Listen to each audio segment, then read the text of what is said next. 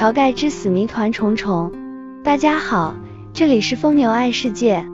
相信很多人都有看过《水浒传》这一本名著，这本书当中的情节是非常精彩的，所以很多读者对于这一本书的评价都是非常高的。不过书中的情节安排让人们感觉到谜团重重，例如晁盖的死亡真相。在节目开始之前，请大家点点订阅和小铃铛，点赞是对小编的最大支持，谢谢大家。对于晁盖死亡的这一件事情，很多的英雄好汉都感到十分的伤心，因为晁盖为人非常的正义，所以手上也有很多信服他的兄弟，所有的兄弟对于他都是拿真心相待的。突然收到了晁盖死亡的消息，所以底下的那些兄弟。全部都接受不了这一个事实，并且发誓要为晁盖报仇。在刚开始的时候，很多人都以为晁盖其实就是被史文恭杀死的，因为晁盖身上有箭伤，史文恭当时就是拿着一把弓箭来射击的。但是在晁盖死亡之后，林冲特地去检查了晁盖的尸体，发现这一把弓箭并不是史文恭的，说明杀死晁盖的凶手并不是史文恭。那凶手到底会是谁呢？在原来的《水浒传》当中，金圣叹一口咬定晁盖的死就是宋江造成的，宋江就是杀死晁盖的凶手。但是宋江却是满口的否定，根本就不承认是自己杀死了晁盖。由于大家都没有拿出令人信服的证据，所以在《水浒传》当中并没有详细的记载晁盖到底是谁杀的。但是在《水浒传》的序文《残水浒》这一本著作当中，却是描写了杀死晁盖的凶手到底是谁。并且还拿出了有力的证据，在《残水浒》这一本书当中，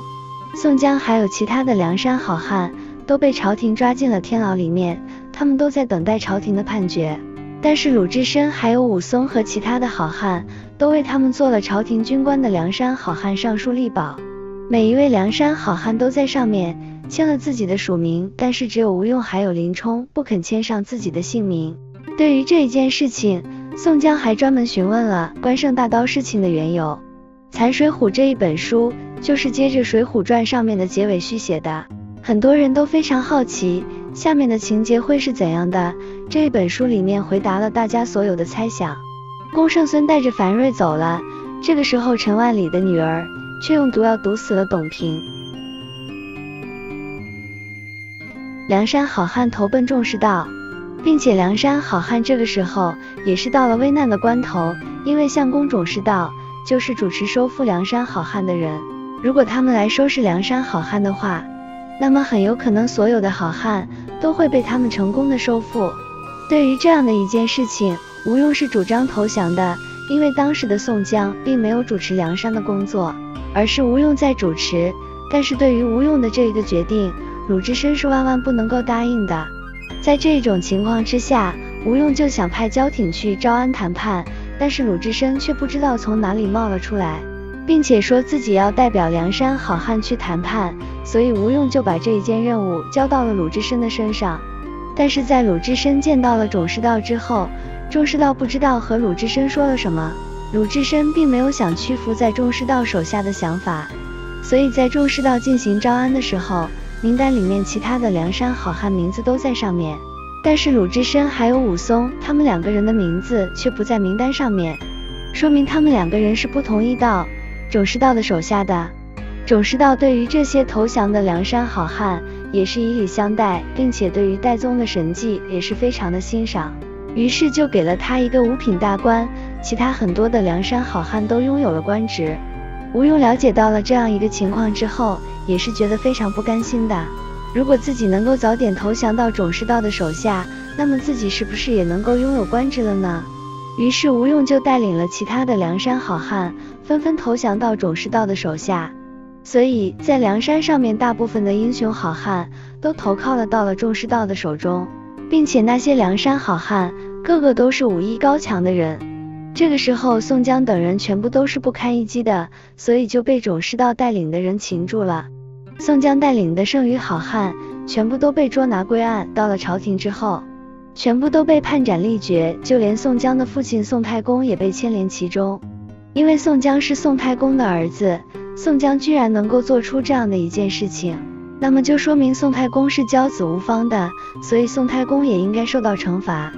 即使这些梁山好汉全部都被判斩立决，但是过了很长一段时间，梁山好汉也没有被实施斩刑。其实这也是因为鲁智深还有武松等其他梁山好汉上书力保的原因，并且对于朝廷来说，宋江等人确实没有做过什么伤天害理的事情，并且他们经常为民除害。虽然说他们是作为山贼的身份，但是他们却没有威胁到朝廷，并且老种经略相公的面子是非常大的，朝廷也不好意思，立马就下令把他们给杀了。于是这一件事情就一拖再拖。其实朝廷的目的就是想等到合适的时机，朝廷进行天下大事的时候，也就把这些梁山好汉全部都给释放了。这也是为自己找一个合适的理由，把这些梁山好汉全部都释放出去。关胜揭露杀死晁盖凶手，在某一天的时候，宋江正憔悴的待在牢里，忽然听到了有人走进牢里的声音，原来。是大刀关胜冲进来了，并且非常激动地喊着：“宋江哥哥，朝廷大赦天下，大众可以免罪了。”这也就意味着宋江等梁山好汉全部都可以出去了，再也不用受牢狱之灾。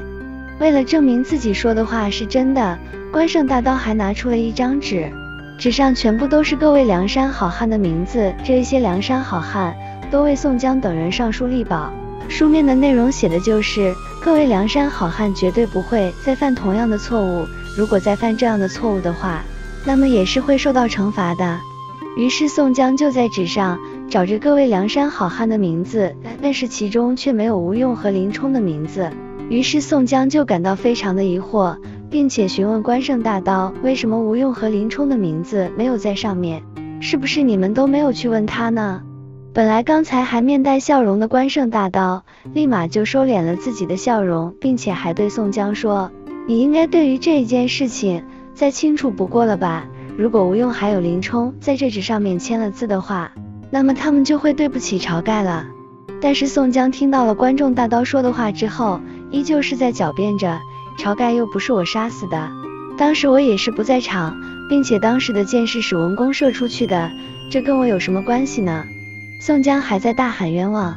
关胜大刀看到了宋江还依旧在狡辩，于是就对宋江说：“当时各位英雄好汉为了揭开晁盖被杀的谜底，所以就在当时活捉了史文恭。但是在史文恭的装备之中，并没有看到有刻过字的剑，并且对比那一些刻过字的剑，与史文恭使用的弓是不匹配的，这说明晁盖并不是史文恭所杀。”由于林冲在梁山也是属于元老级的人物，所以他也是有很多心腹的。他的心腹听到了两个人在争吵，其中一个人说对方就是杀死晁盖的凶手，所以他要为晁盖报仇。他们两个人扭打到了宋江的面前，宋江听到了他们的话之后，立马就拔剑把他们杀了。当时的吴用就在宋江的身边，关胜就讽刺宋江说：晁盖在死了之后，你根本就没有出兵为他报仇。即使史文恭在还了宝马之后，你也不会出兵为晁盖报仇。听到了关胜这样的一句话，宋江也是哑口无言。等到关胜大刀和宋江说完这一席话之后，宋江回头就看到了三十多双眼睛，全部都带着仇恨，怒视着自己。在这一片的杀气当中，宋江呆住了，只能够低着头等待大家的处置。